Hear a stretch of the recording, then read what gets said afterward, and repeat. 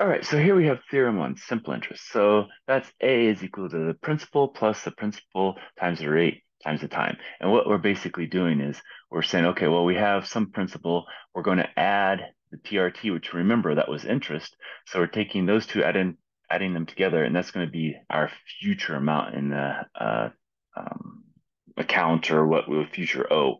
And so if we look at this, we can pull out a P here. And so P times 1 plus RT now is going to be our A. So the future value is going to be the principal times 1 plus the rate times the time. So when we know three of the four variables, either A, P, R, A, P, T, or A, P, whatever, but as long as we know three of them, we can find the fourth one using algebra. All right, so this one says Find the total amount due on a loan of $600 at 6% simple interest at the end of four months. All right, so, all right, total amount due. So we were looking for A. And so what is our principal? That's $600.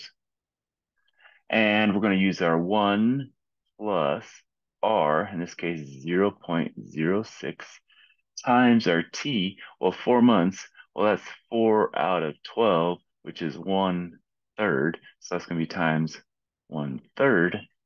And so if we go back to our calculator again, here we have 600.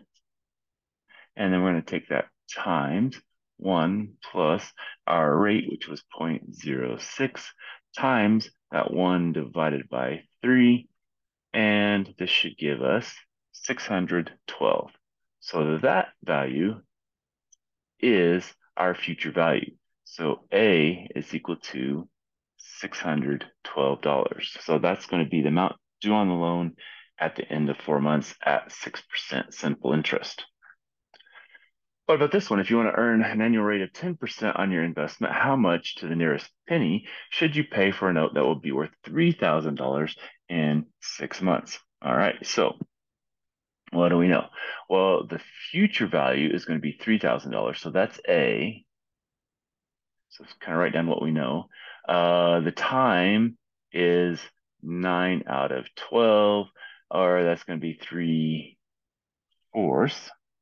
Uh, we have a rate is going to be 0.10. And so now we can plug all that in, and what we're looking for is going to be the P. So P is what we're looking for. So if we say 3,000 is equal to P times 1 plus our R, 0 0.1, times, and now we have 3 fourths instead. And we want to solve that. Well, what we're going to have to do to solve for P, we're going to have to divide that by the 1 plus 0 0.1 times 3 fourths. And so we'll divide that by 1 plus 0 0.1 times 3 fourths. And the 1 didn't come out there. All right, so now let's plug that in and see what we get. All right, so we have our 3,000 divided by 1 plus 0.1 times 3 divided by 4. And that gives us $2,790 and 0.697. Now remember, it said round to the nearest penny, so that 7 will round that up, and so we'll have 0.70 there. So that gives us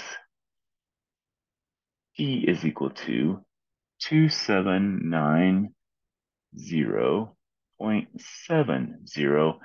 That's the amount we have to actually put into the account to get the future value. So that's the principal that we would have to have. Now, simple interest on short-term notes often has a time period given in days rather than months or years. So depending on the specifics of the problem, at times the number of days is divided by 360 to convert your number of days to years.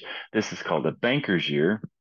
At other times, it's divided by 365 to convert to years, and the choice should always be clear in the problem. So this is a banker year, this is a normal year, so we have to really pay attention to what year they're talking to, to us about for the problem, and then we'll be able to divide by the correct number of days.